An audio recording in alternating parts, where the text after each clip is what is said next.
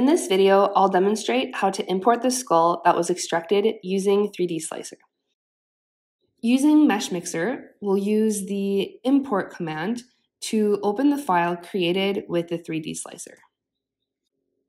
So first we'll use the inspector function to correct the errors in the 3D model. We'll go to Analysis and then Inspector. The software will inspect the model for errors, and each of the pink pins here represents an error. Then we'll click on Auto Repair All. If desired, we can reposition the model using the Transform tool. It can also be accessed using the shortcut Command T. We can turn the skull in this manner using the right click button on the mouse. If we want to reposition the skull in the three dimensional space, we can do so by clicking on the different arrows that appear on the screen. Once satisfied with the position, click Accept. Here, the model is quite large. Not only does this make it more difficult to manipulate, but it would also take a very long time to print We'll therefore decrease the size of the model by removing the anatomic regions that are not relevant. In order to do so, we will have to use the plane cut tool.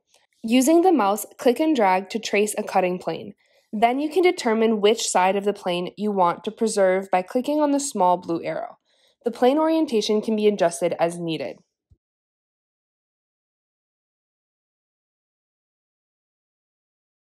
Once you're satisfied with the resultant plane, click Accept. This step will considerably decrease the overall size of the model, facilitating its manipulation.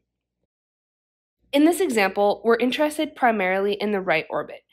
We'll design additional cuts to continue decreasing the model size and isolating the right orbit. As you can see, it becomes easier to manipulate.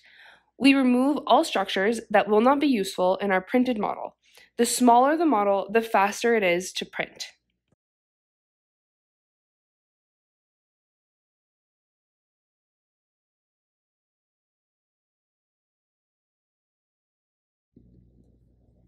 Before finishing, we'd want to remove all the little floating bones, so we do this using the selection tool.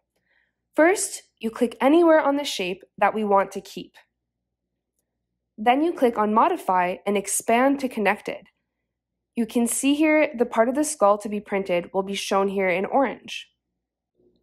Then you click on Modify and Invert to isolate the small floating bone fragments that are not connected to our skull. They appear here in orange.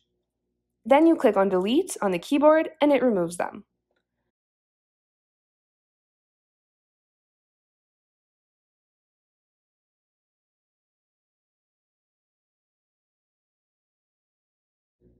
We can then position our model in preparation for 3D printing using the Transform tool.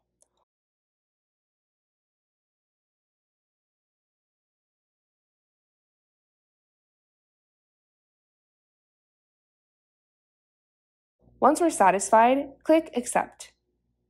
Before exporting the model, we will have to reanalyze for any errors using the inspector function like we did at the beginning.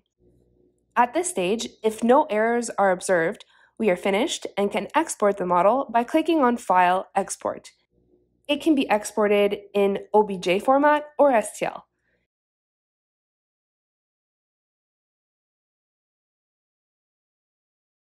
Here, it's exported as right orbit, corrected for printing.